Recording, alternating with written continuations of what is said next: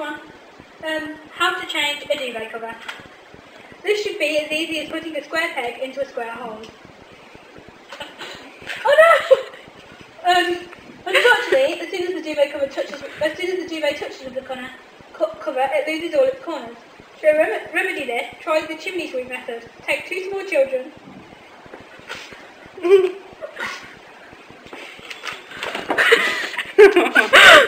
Go on, kick me out.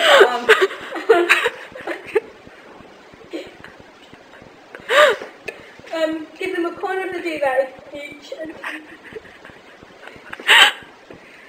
don't even know if is funny. Um, and send them into the cover. View their progress.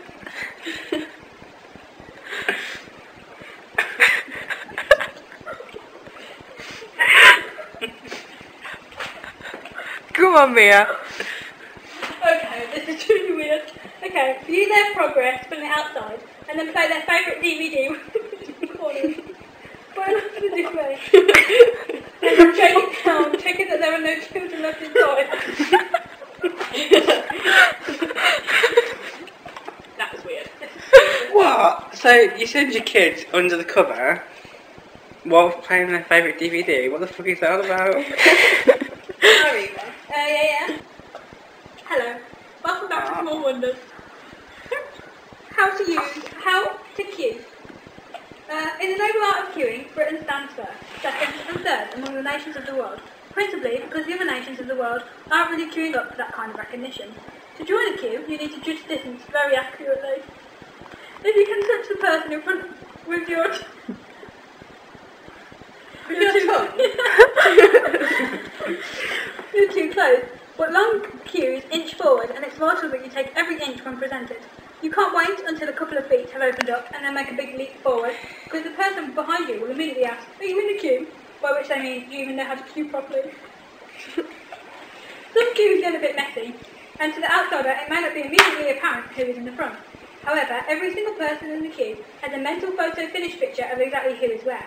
People who lead crushingly oppressed lives will stand for just about any indignity, but God forbid anybody should try to push in front of them. This is some weird shit. How to pay. Uh, do you tender the exact money or a big note? Counting out heaps of change will make you look like a miser, while a note implies you have money to burn. Some people always insist on giving a big note with some change so that they can, so that they can get pound coins back. News agents hate people like this and will have to remove the colour magazine from your paper just to stop you being so smug. Uh, how to live without keys? Anybody? Uh, in that drawer full of rubbish in your kitchen, there will be a selection of mysterious, unlabelled keys. Um, if you want to know what they unlock, throw them all away and in a matter of hours you will find out. The greatest fear of people who live by themselves is that they will leave the house without their keys. That's why the first thing they do when they've closed the door behind them is to cut their pocket. Alternatively, they give their spare key, keys to a neighbour with an honest face. If this neighbour doesn't immediately offer his or her own keys in return, that may well be a mistake. Have to iron now? Uh, mothers know that men won't iron, so they've evolved, evolved, evolved a cunning trick to get them started. They wait until the boys are old enough to want to look grungy and then start pressing razor, razor creases into their jeans. Boys will immediately insist on ironing out the creases, returning the trousers to the des- desired laundry basket sta- state. Shirts take hours to iron because the makers have contrived it to put every ironing challenge into one garner. Colours, double cuffs, rough sleeves, flared yoke, etc., etc.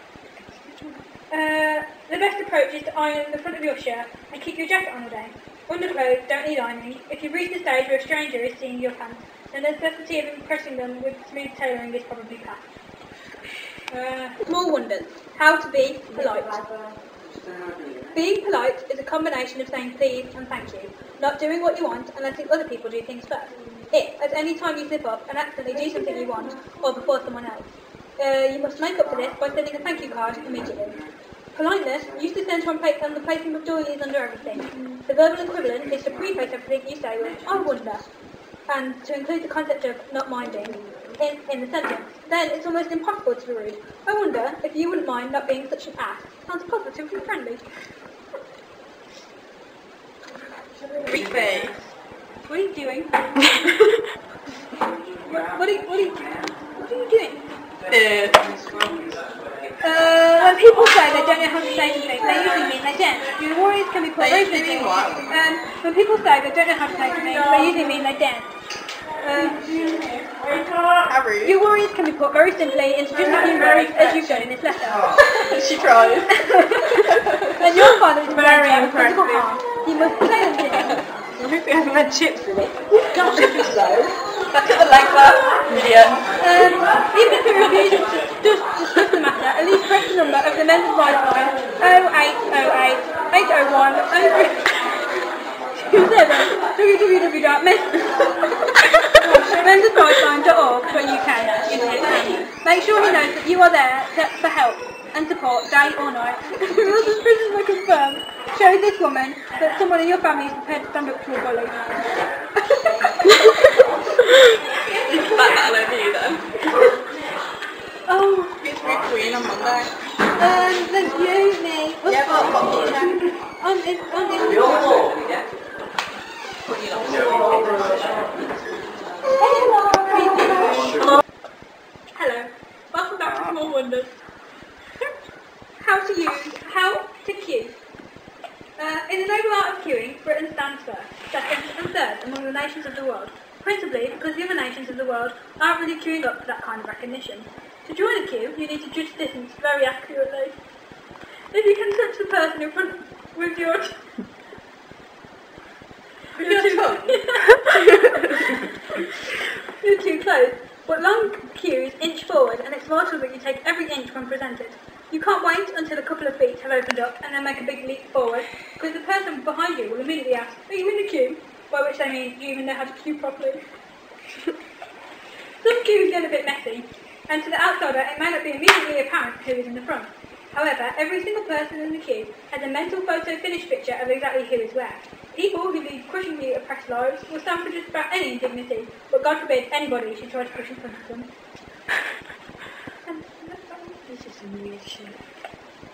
How to pay. Uh, do you tender the exact money or a big note? Counting out heaps of change will make you look like a miser, while a note implies you have money to burn. Some people always insist on giving a big note with some change so that they can, so that they can get pound coins back.